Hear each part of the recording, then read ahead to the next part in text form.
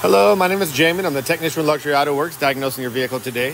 So I have my diagnostic equipment connected to the engine module here. We'll pull that up right quick.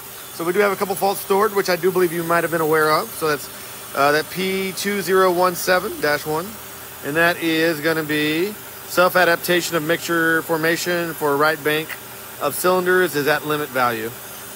And then the other one is going to be P2086-1. Same thing, it's just gonna be for the left cylinder bank as you can see there. So basically what's happening is your air fuel mixture is not correct.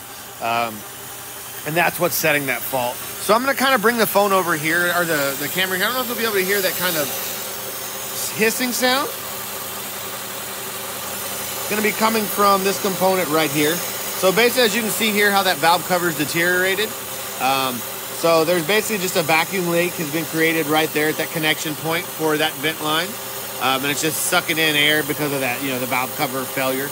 Um, so for that issue, I'm going to suggest replacement of the valve cover itself, um, as well as these vent lines that are connected here. Basically, you know, they're rubber lines that are going to become brittle.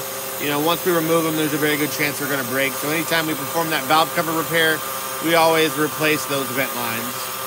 Um, you know, one other thing I did put on there was spark plugs, just you know, for no additional labor, just out of the the uh, cost of the part. If we're going to be in that area anyway, you know, we might as well replace those spark plugs while we're there. Um, one other thing I did want to make you aware of, I did notice you had that active brake warning on the dash. Um, so the warning was for the pressure reservoir of the SBC module.